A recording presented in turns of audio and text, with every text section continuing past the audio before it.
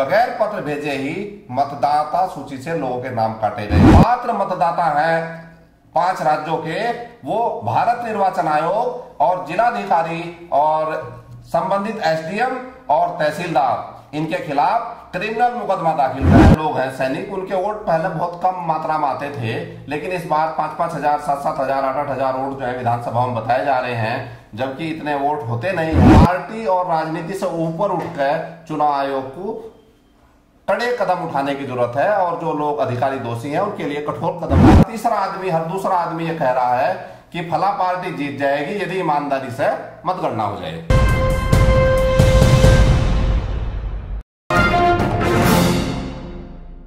मैं हूँ शकील अहमद और आप देख रहे हैं न्यूज़ मैक्स आज उत्तर प्रदेश के सातवें और आठवें चरण की भी पोलिंग समाप्त हो चुकी है। और अक्सर तमाम फेस में यह देखने में आया है कि कहीं ना कहीं वोटिंग लिस्ट से लोगों के नाम गायब हैं।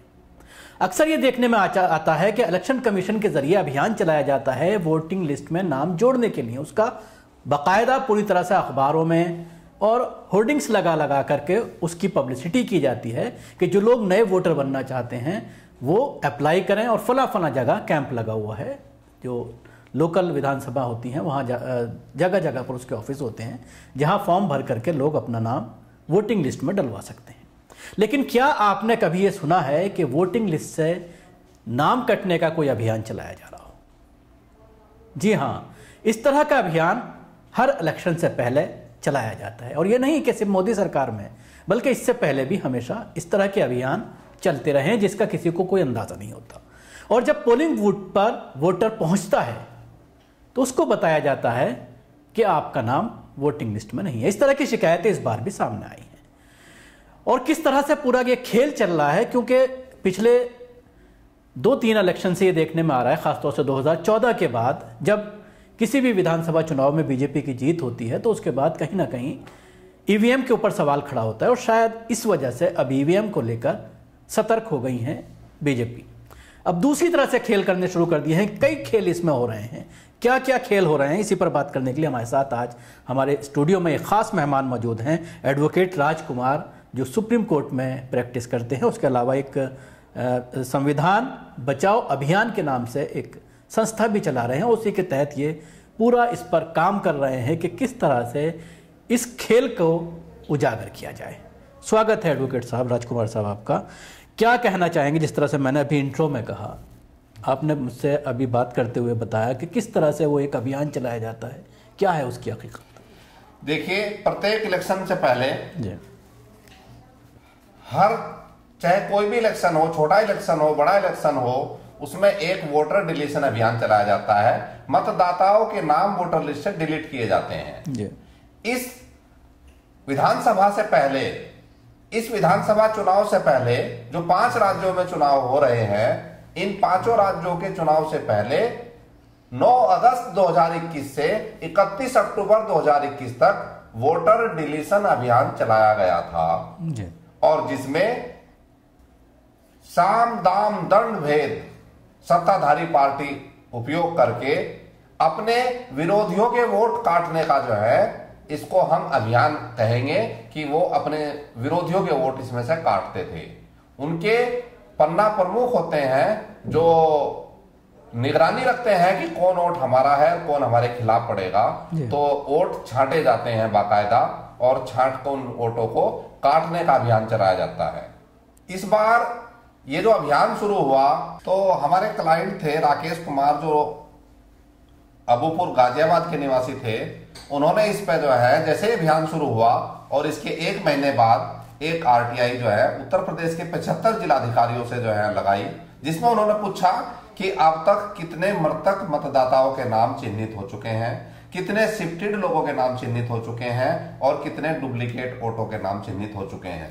तो हालाँकि उनको इस पवित्र काम को करने के लिए एक लखनऊ के जिलाधिकारी द्वारा बहुत भद्दी भद्दी गालियाँ भी सुननी पड़ी, लेकिन वो अपने जो है मिशन पर लगे रहे और लगातार दबाव बनाया और उन्होंने कहा, भारत निर्वाचन आयोग से पूछा कि कितने लोगों के नाम आपने चिन्हित कर लिए? और दूसरा सवाल उन्होंने पूछा, किसी भी व्यक्ति का नाम वोटर लिस्ट से डिलीट करने के लिए उसके घर पर रजिस्टर्ड डाक से पत्र भेजने का प्राविधान है, लेकिन आज तक भेजा नहीं गया। इस बार भी कुछ जिलाधिकारियों ने शिकायतों के बाद कुछ लोगों के घर पे पत्र भेजे हैं लेकिन अधिकांशतः बगैर पत्र भेजे ही मतदाता सूची से लोगों के नाम काटे गए हैं जिसकी हर ज़िले से जो है शिकायतें जो है। तो इसका मतलब यह है कि पहले उनको लेटर भेजा जाता है। जी। अपने दर्शकों को बताना चाहूँगा कि आज तक आपने वो लेटर नहीं देखा होगा। बहुत सारे लोग ऐसे होंगे जो मुझे सुन रहे हैं। और उनका वोटिंग लिस्ट से अचानक नाम गायब हो गया लेकिन ये जो एक नई बात पता चली है कि बाकायदा उसके लिए ज़िला प्रशासन को एक लेटर भेजना पड़ता है ताकि अगर उसको कोई ऑब्जेक्शन है, अगर गलती से उसका नाम डिलीट हो रहा है तो उसको रोका जा सके। तो फिर उस पर क्या कहना था? उस पर जब लेटर नहीं गया लेटर जाने के बाद भी जो है, एकदम से उसका नाम नहीं काटा जाएगा। उसके बाद जब उसकी सूचना आ जाएगी कि वो आदमी मर चुका है उसके बाद भी तहसीलदार मौके पर जाकर सत्यापन करेगा उसके बाद ही उसका नाम वोटर लिस्ट से डिलीट किया जाएगा। भारत का भारत के संविधान के आर्टिकल 324 में मतदाता सूची बनाने की ज़िम्मेदारी भारत निर्वाचन आयोग की है। और मैं ये चैनल के दर्शकों से ये कहना चाहूँगा कि जिन मतदाताओं के नाम वोटर लिस्ट से डिलीट किए गए हैं और जिनके पास जो पात्र मतदाता हैं पाँच राज्यों के, वो भारत निर्वाचन आयोग और जिलाधिकारी और संबंधित एसडीएम और तहसीलदार। इनके खिलाफ क्रिमिनल मुकदमा दाखिल करें, क्योंकि ये अभियान जो है, ये साम दाम दंड भेद की जो राजनीति है, ये जब तक खत्म नहीं होगी, जब तक इस तरह से असली लोगों का वोट काटने वालों को न्यायालय के माध्यम से दंडित नहीं किया जाएगा। लोकतंत्र में जो मतदाता है, उसकी कीमत मुख्य चुनाव आयोग से ज़्यादा है। इसके अलावा देखने में यह आता है कि बैलेट पेपर से उन लोगों का वोट डाला जाता है जो जो चुनाव ड्यूटी में है ख़ासतौर से पुलिस पर्सनल्स हों या उसके अलावा जो आर्मी के लोग होते हैं। उसको लेकर क्या कहना चाहेंगे? जिस तरह से बिहार में पूरा इसको लेकर के खेल किया गया था बैलेट पेपर। देखिए नंबर एक पोलिंग पार्टी वोट डालती है अपना चूँकि वो कर्मचारी है हम्म। मत, मत मतदान कराती है। तो एक उनके वोट होते हैं दूसरा पुलिस के वोट होते हैं तीसरे जो है सैनिकों के वोट होते हैं जो हमारी सीमाओं पर रक्षा करते हैं और इस बार दो श्रेणी और बढ़ाई गई है। एक 80 अस्सी वर्ष से अधिक आयु के लोग और विकलांग जो हैं इनकी दो श्रेणी और बढ़ाई गई हैं। इस प्रकार पाँच, छह श्रेणियाँ ऐसी बना दी जिनके बैलेट पेपर से वोट होते हैं और वो बैलेट पेपर उनकी पर्याप्त जो है निगरानी नहीं होती।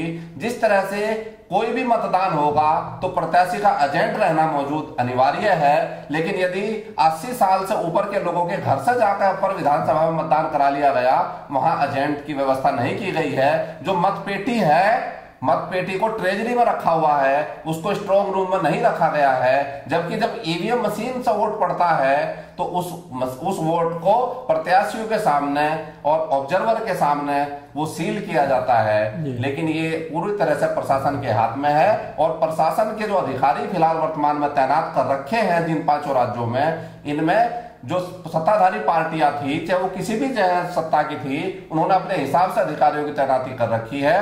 तो इसलिए चुनाव आयोग को उन अधिकारियों में विश्वास ना करके अधिकारियों की तैनाती में परिवर्तन करना चाहिए था। जिस तरह से बंगाल चुनाव में चीफ सेक्रेटरी बहुत सारे अधिकारियों की तैनाती में बदलाव किया गया था और पिछली बार ही जब चुनाव हुआ था 2017 का अखिलेश सरकार थी बहुत सारे अधिकारी बदले गए थे लेकिन इस बार चुनाव आयोग ने जो अधिकारी भाजपा ने तैनात कर दिए थे उन्हीं अधिकारियों से काम चलाया गया और जो शिकायतें भी की गई हैं अधिकारियों की उस पर भी जो है कठोरता से कदम जो है उठा, नहीं उठाए गए।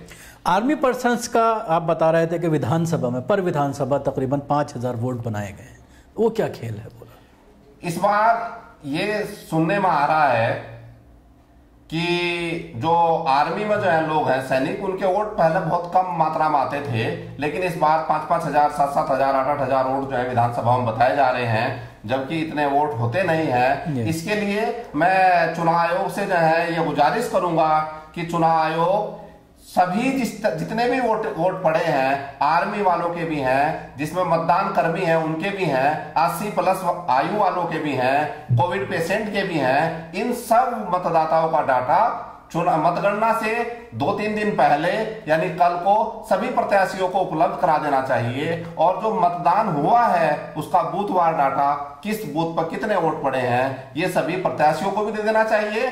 और देश की जनता, प्रदेश की जनता, मतदाता जो बड़ा होता है, उसको भी जो माँगता है, सबको उपलब्ध करा देना चाहिए। एक आखिरी सवाल करना चाहूँगा, वीवीपैट को लेकर। जिस तरह से ये कहा जाता है कि तमाम मशीनों के साथ वीवीपैट लगा होता है और जिस पर कोई शक हो तो उसको काउंट करा लिया जाए। ये कहा गया कि हर बूथ पर एक मशीन को काउंट किया जाएगा ताकि तय पर कर पाएँ कि कहीं कोई गड़बड़ी नहीं हुई है। उसके बाद सुप्रीम कोर्ट पहुँचे तो सुप्रीम कोर्ट ने कहा कि पाँच मशीनों को चेक किया जाएगा। तो उसको किस तरह से आप देखते हैं, क्या हर मशीन को काउंट करना चाहिए? अगर हर मशीन को काउंट करेंगे तो फिर तो बैलेट पर पेपर करा लीजिए। देखिए ईवीएम से ही चुनाव कराना चाहिए। प्रक्रिया तो सबसे बढ़िया बैलेट बैक बॉक्स और बैलेट पेपर की है। जो। दुनिया की जो पद्धतियाँ हैं चुनाव की उसमें सबसे विश्वसनीय पद्धति बैलेट पेपर और बैलेट बॉक्स ही है। पर यदि सरकार अपनी हठधर्मिता और अपनी जिद से आकर ईवीएम से ही चुनाव कराना चाहती है तो सरकार को और चुनाव आयोग को चाहिए कि वो ईवीएम की पर्चियों की गिनती पूरी सबकी 100 परसेंट करनी चाहिए। हालाँकि सुप्रीम कोर्ट ने पाँच पोलिंग स्टेशन की वीवीपैट मशीन से जो है मिलान करने के आदेश पारित किए थे 2019 में, लेकिन 2019 के लोकसभा चुनाव में भी पूरे देश में पाँच पोलिंग स्टेशन के स्थान पर पाँच पोलिंग बूथ का ही मिलान किया गया और वो पाँच पोलिंग बूथ का मिलान भी मतगणना के बाद किया गया, जब वहाँ से हारने वाले विपक्षी प्रत्याशी सब चले गए थे। उस समय उसका मिलान हुआ और उसके जो पेपर्स हैं जो तमाम जो है आए हैं सामने निकल के तो वो अधूरे हैं उस पर ऑब्जर्वर के साइन नहीं है कहीं काउंटिंग एजेंट के साइन नहीं है कहीं प्रत्याशियों के साइन नहीं है। तो इस तरह से हमारा जो है अव्यवस्थित चुनाव हो रहा है। इसमें चुनाव आयोग को बहुत मेहनत करने की ज़रूरत है और पार्टी और राजनीति से ऊपर उठकर चुनाव आयोग को कड़े कदम उठाने की ज़रूरत है और जो लोग अधिकारी दोषी हैं उनके लिए कठोर कदम उठाएँ तभी जो है चुनाव आयोग पर इस देश की जनता का विश्वास बढ़ेगा। जिस तरह से जो है जो व्यवस्था फैल रही है अव्यवस्था फैल रही है आज देश में हर तीसरा आदमी हर दूसरा आदमी ये कह रहा है कि फला पार्टी जीत जाएगी यदि ईमानदारी से मतगणना हो जाए। तो ये लोकतंत्र के लिए बहुत नुकसानदायक है कि एक हर आदमी जो है हर दूसरा या तीसरा आदमी ये कहता हुआ मिलेगा कि जीत तो हमारी पार्टी जाएगी पर अधिकारियों का भरोसा नहीं है। अब ये भरोसे की ज़िम्मेदारी भारत निर्वाचन आयोग की है। लोक सेवक किसी पार्टी का नहीं होता है। लोक सेवक इस देश का होता है उसके जो तनख्वाह मिलती है वो देश के प्रत्येक नागरिक के दिए गए टैक्स से उसकी तनख्वाह जाती है। उसको पार्टी जाति धर्म उससे ऊपर उठकर जो है निष्पक्ष स्वतंत्र और पारदर्शी चुनाव कराना चाहिए। हमारे संविधान में भी शुक्रिया राजकुमार साहब हमसे बात करने के लिए। जिस तरह से राजकुमार साहब ने पूरा इस पूरे खेल का कहीं ना कहीं खुलासा किया है कि किस तरह से अब ईवीएम के बजाय और किस किस तरह से खेल करने की कोशिश इस इलेक्शन में ख़ास तौर से की गई। पाँच राज्यों की अगर हम बात करते हैं तो उसमें जिस तरह से आपने बताया कि वीवीपैट का जिस तरह से मिलान होना चाहिए, वो पूरी प्रक्रिया नहीं की जाती। उसके अलावा जो आर्मी पर्सनल्स हैं या चुनाव ड्यूटी में जो रहते हैं या पुलिस अधिकारी हैं, उनके वोट को किस तरह से डलवाया गया है अधिकारियों के ज़रिए और वो कितनी संख्या में, ख़ासतौर से आर्मी पर्सनल्स को का नाम जो है वो वोटर लिस्ट में डाला गया है। ये एक बड़ा खेल सामने आ रहा है जो इन्होंने उसका खुलासा करने की कोशिश की। शुक्रिया आपको हमारी कोशिश कैसी लगी, ज़रूर बताएँ। हमारे यूट्यूब चैनल को सब्सक्राइब करना ना भूलें। इसके साथ ही बेल आइकन ज़रूर दबाएँ। अगर आप वीडियो फेसबुक पर देख रहे हैं तो पेज को लाइक करें और फॉलो भी करें। धन्यवाद।